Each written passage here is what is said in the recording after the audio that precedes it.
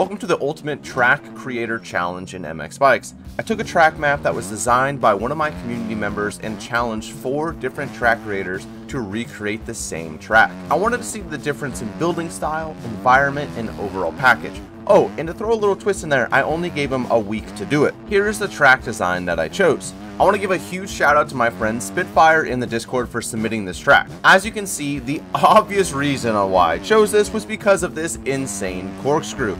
I also felt like the track just had a pretty solid layout as it is. This corkscrew offered the creators a lot of ways to interpret this design, and I thought it would bring out a lot of their personality and creativity. All of these tracks will be released today, June 22nd, for free on MXB Mods, so make sure you check them out. Now that we have that out of the way, let's meet our creators and their designs. First up, we have Jackie Moon, and his track called JMWTF. The first thing you will notice about this track is how good it looks. From everything from the skybox to the dirt textures to just everything, it just looks so good. Jackie Moon also did a great job on putting a lot of lines in the corners as well as adding some pretty solid and challenging braking bumps throughout the track. This is probably my favorite track as far as the environment, dirt texture, and just the way that it feels. I think Jackie Moon absolutely killed it on the overall flow as well. The ruts are incredible, the braking bumps are big, but not too big, the size of the jumps are good, everything feels very proportioned, there are huge sends, there are small little doubles, there are small tabletops, huge step ups, huge step downs, and I really like what he did here with the corkscrew. Jackie put in a little bridge so that if you come up short, you don't fall down into the trenches. And speaking of trenches, boy, do you feel like you're down in them trenches when you're under the bridge. This is so cool and feels so unique from anything I've seen in the game before. It's like this massive multi-layered track where you're above and then you're below. I mean, I guess that's the whole concept, but you know what I mean. It's just, it's really, really cool. This is a track that I could see people playing like crazy in online lobbies just because it's unique, different, flows really well, pretty beginner friendly, intermediate friendly. It's just, it's just a good one. Well done, Jackie Moon. Let's move over to Baked Minotaur's track.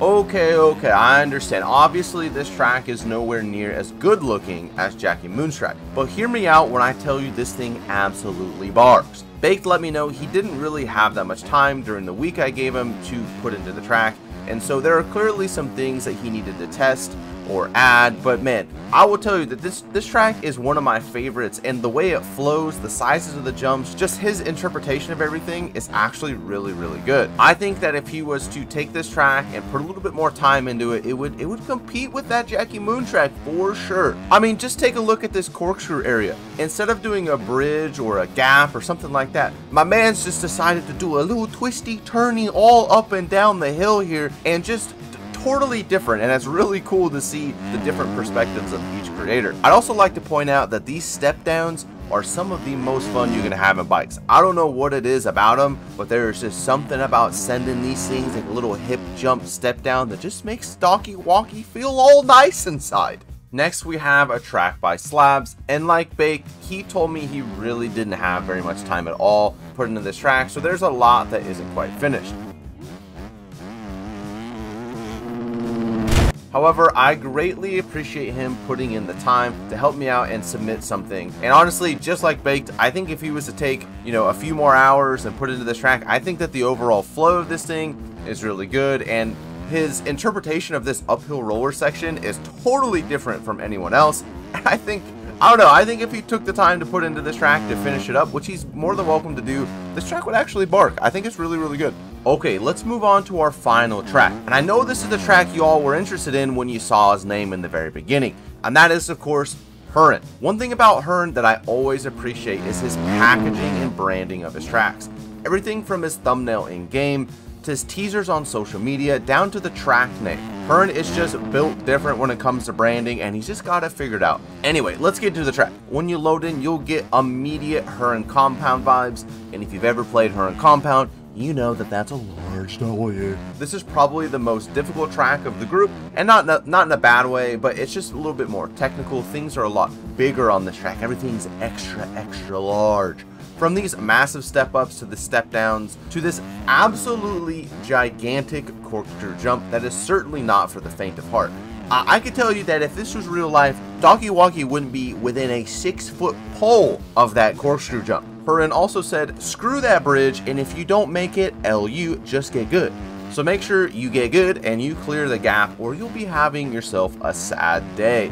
But overall, Hurren's track, the textures on the ground, the environment, the flow, just eh, little step up things here and there. It's just so unique and well done. And Heron is just a large W.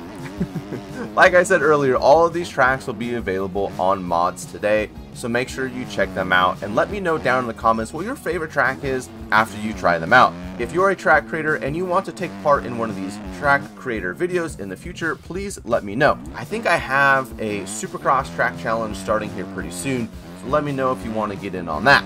Again, thank you to these four dudes that took the time to make a track just because old Docky Walkie asked them to, and thank you for releasing them to the community so we all have more tracks to rip. I greatly appreciate you guys, and I think all four of you killed it. That's all for me, guys, and if you guys need anything else, please let me know, and I hope you have a blessed day.